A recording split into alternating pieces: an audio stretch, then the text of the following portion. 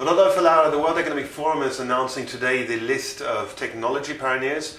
What is the class of technology pioneers 2010? Well, we have 26 companies that are active in the fields of clean tech, of information technology and telecommunications and new media, and health and biotechnology.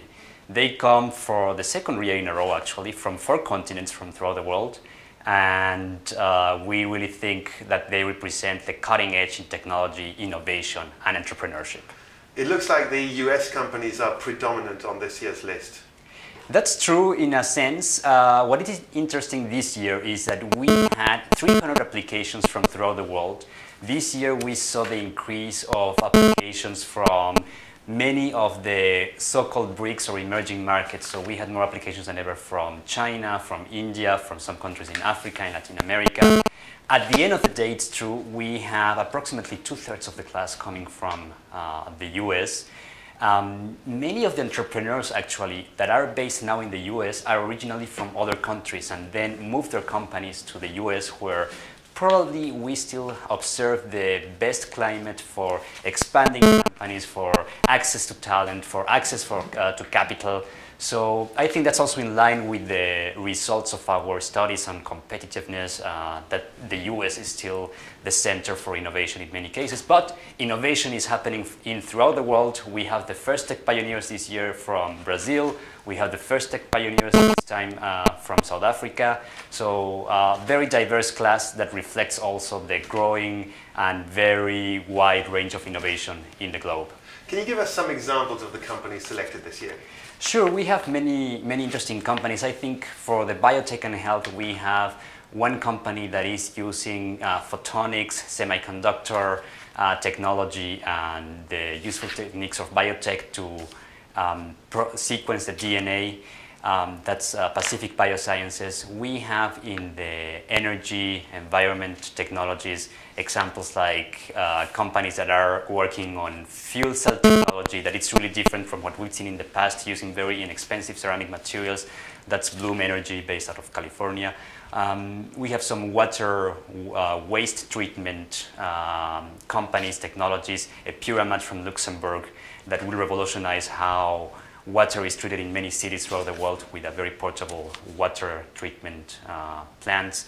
Um, we have in the information technology one very well-known name right now, but only difficult to believe that they are only uh, older than three years. Uh, Twitter, microblogging revolutionized the way of we communicate with each other and we update, uh, and even how companies and and many other outlets outlets uh, communicate with each other.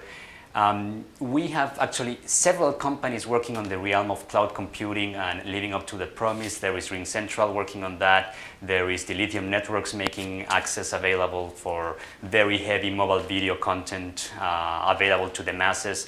We have as well the entertainment of social networks, Playfish, which was actually acquired. We had the selection of the tech pioneers at the end of September. They were acquired beginning of November, just before this announcement was made, but uh, very proud to have this uh, pioneer in the social gaming arena.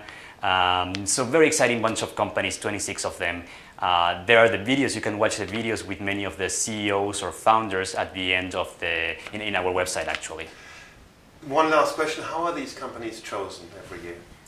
So we go through a very rigorous selection process. We get applications from a variety of sources. So either from our website, uh, the general public can nominate companies that they believe fit the main criteria for the technology pioneers. Um, our network of partners, professors, media leaders, uh, they many times also uh, provide us with the names of those up-and-coming companies that we should keep a, a, watch on. So once we have this list of nominations, we go through the fair internal round in the forum with our industry experts to determine whether these companies really um, fulfill the five main criteria of the award. Once we have a short list, uh, they are invited to submit a complete application that will be then evaluated by um, selection committee, which is composed by approximately 50 experts in technology from throughout the world, uh, professors, venture capitalists, chief technology officers, and other innovation experts that evaluate the companies against the criteria and then finally make a recommendation to the managing board of the World Economic Forum. The managing board of the World Economic Forum takes a final decision and then the result is this year 26 companies.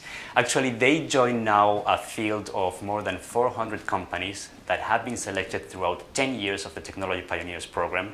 And one interesting statistic is that of those 400 companies, 80% are still in operations. Uh, it's a remarkable figure for a startup, either independently or they had, some of them have been acquired, or many of them actually have been acquired by uh, some of the leader players in technology as well. So very proud to have the new class of uh, 2010 joining the, the community of technology pioneers of the forum.